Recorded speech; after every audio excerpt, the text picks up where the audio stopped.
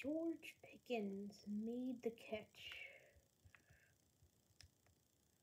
Yes, see right there. One-handed catch by George Pickens.